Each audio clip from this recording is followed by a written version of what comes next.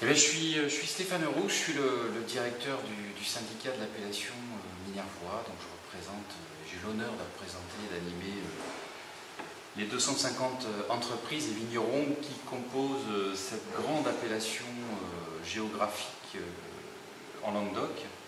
Grande appellation d'origine contrôlée, reconnue en 1985, Mhm. euh, qui démarre aux portes de Carcassonne et de sa fabuleuse et mythique cité médiévale reconnue par l'UNESCO, euh, qui se situe également euh, collé, j'irais, le long du canal du Midi, hein, qui serpente sur un peu plus de 60 km tout au long de notre appellation d'origine contrôlée.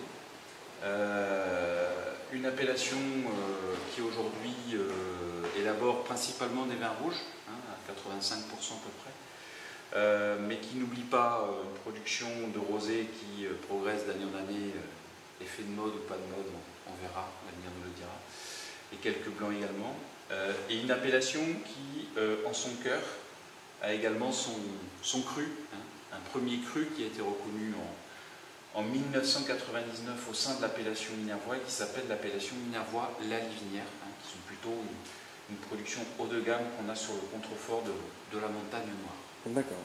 Donc qu'est-ce qu'on va avoir comme euh, terroir, comme type de sol sur, le, Et Livinière bien, sur euh, l'appellation Minervois, on va avoir à la fois des sols, euh, j'irais dit, euh, assez anciens sur les secteurs d'altitude. hein. Là, on est sur des altitudes à 400-450 mètres à peu près. On est sur les derniers contreforts de la montagne noire, qui est la fin en fait des, des- des Cévennes et donc du Massif central. On va donc avoir ici plutôt des secteurs de schiste, des calcaires durs, hein, avec à blancheur écarlate, des petits morceaux de, de- de- roches qu'on va voir un peu partout au milieu de nos vignes. Quand on va redescendre un peu plus sur les coteaux, on va avoir des secteurs plutôt de grès, euh, des sols assez superficiels pour, euh, une exploitation viticole euh, optimale. Et ensuite, tout au long des, différentes rivières qui descendent de la montagne noire et qui ont un petit peu façonné, on va dire, le, le Minervois, on va avoir des terrasses, des grandes étendues de terrasses, hein, qui sont des dépôts euh, qui ont été faits lors des dernières glaciations et qui font des grandes étendues de- de plaines viticoles et terrasses viticoles euh, qui redescendent en pente douce, euh, ces terrasses, jusqu'au fleuve Aude et au canal du Midi qui se situe euh, au sud de notre appellation. D'accord.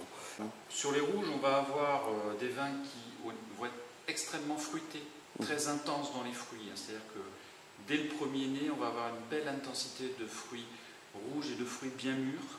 Euh, donc ça, c'est une des marques, c'est-à-dire une forte expression aromatique dès le premier nez.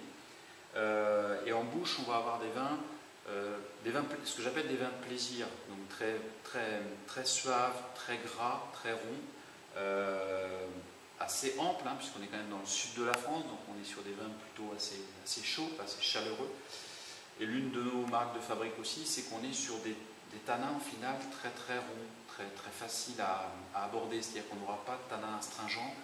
On a très très peu d'élevage en barrique également sur notre appellation, pour garder vraiment cette, cette franchise du fruit et, et des, des- des vins très aimables et très, très plaisir. Bon, bah, super. Bon, merci alors pour cette présentation. Merci.